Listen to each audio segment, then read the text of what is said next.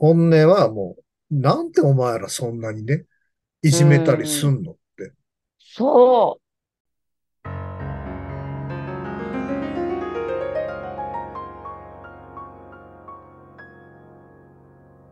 う。日本ってすごくこう幸せになろうと思ったら、すごく幸せに生きれる場所だと思うんですよ。もう100%じゃないけども、でも、恵まれてる人が、その日本の中のか何人かのその恵まれてない人に手を差し伸べたら、きっとすごい幸せな国になれると私は思うんですね。同じ民族し。そこでなんでこういじめたりとか、その人を殺すところまで追い詰めたりとか、なんでそんなことをせなあかん。見てみろよって、およその世界のこの大変な思いをしてる人のことをもうちょっと見たら、自分は、ああ、恵まれてるんだって思えるのになって思います。いや、そうだね。旦那でもまあ、んまだまし、まだましなん？みたいな。私 見たらもう、いや、そんな人生っていうもうなんか不幸のデパートみたいな人生やのに、それよりもっとひどいたち、人たちがいっぱいいるこの国で、私あの、メリー・ジェイ・ブライジが、ある時のインタビューで、楽しいことなんかほとんどない人生で、ラジオから音楽ネットから流れる、それが唯一心に光を当ててくれるって言ったことがあった。ほんまに、だからそ、それぐらい何にもない。その光を当ててくれるのは、それを歌っている、それこそアリサとか、グラディスとか、パティ・ラベルとか、その人たちの歌によって自分はもう何にもいいことがないけれども、その彼女たちの歌がラジオから流れた時に、パってこう、ちっちゃい心に灯火が灯るっていうか、もう、ああ、幸せっていう、それを与えてくれた彼女たちにすごく感謝をしてますって言っても、うえーって私泣いたんですけど、もう感動して。でもそんな人生で、きっとそういう人生の人はいっぱいいるんですよね。この国の黒人の中には。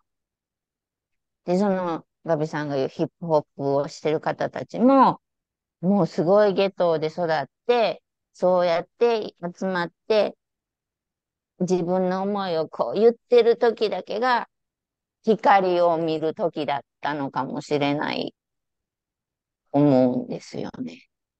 で、それと比べたら、お家に親がいて、ご飯食べさせてもらえて、お洋服があって、お風呂に入れて、ベッドで寝れるって、すごい幸せかも。学校なんて行かなくていいよって思います。まあ、不思議な人で変わり者だからだ。ちっちゃい頃から変わってるうんから。本当ラジオで聞ける、さっきのうん。ねうんメアリージブライドの話と全くレ、レ、次元も違うんだけど、いやいや、でも子供の時にね。音楽を聴くことしかね、楽しみを見出せなかったのよ。自業自得なんだけどさ、合わせられないね。うんうん。あまああまり上手に。そう、うん。わーっとやったりするコミュニティは得意なのよ。うん。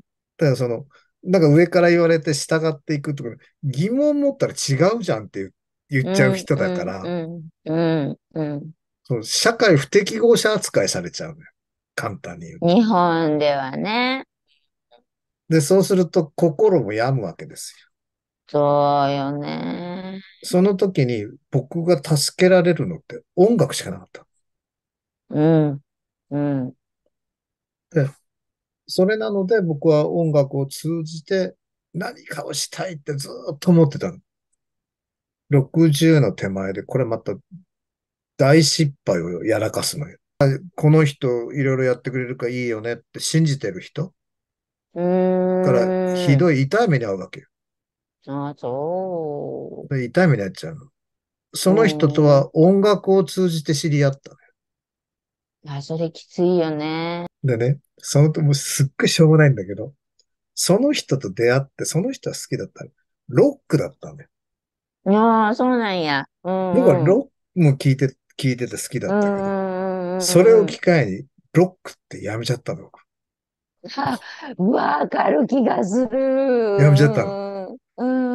ロックなんか聞かないって、思思って、そこでやっぱ、り一番聞いたのがマイルスうんね、救っていく神様だもんね。た。うん。マイルスろ60超えてこれから第二の人生じゃないけど、うん。その時にやれるとこまでももうやっちゃおうっていう考考えの人だから、一人にもうそういうなんか心病んだ人とか、らそういう人々にもっとい生きやすい社会なんか作れるわけないのよ。だけどだけどだけど、こうこういう曲聴いたりした方が元気になれるよとか。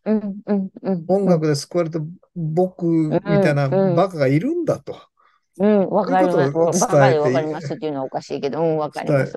伝えていければなと思って、うん。なんか相方をずっと探して、ああ、おったわって。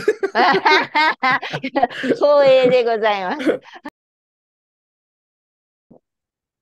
まあ、お起き上がり拳のように、へこんでも、こう立ち向かっていくんですけど、なんかそれは性格やと。でもやっぱり周りにいい人がいるからそうやって頑張れると思うし、応援してくれる人がいるから、ブリアーっまた 戦いに向かうみたいな。すごいいいキャラクターだよね。あ、そうかな。うん、めちゃめちゃ、めちゃめちゃでいいと思うよ。はわかれへんけど、なんかたくましいとはよく言っていただきます。そう、そういう人って、由美子さんみたいな方が表に出てもらって、うん。もっと語ってほしいと思ってる。書物もそうだし、うん。うん。ともね、真面目に。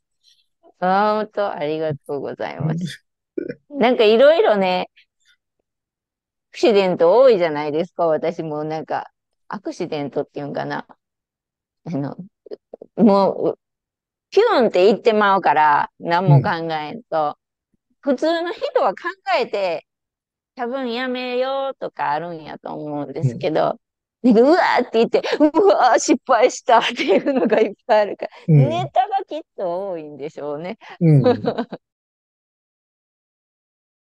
すごい辛い時期というか、もうね、うん社会不適合者としてはあるんですよ。うん、うん、うん。そ外、旗から見りゃお前が悪いじゃんってしか言われないんだけど、その時に何が僕を救うかで音楽しかなかったのよ。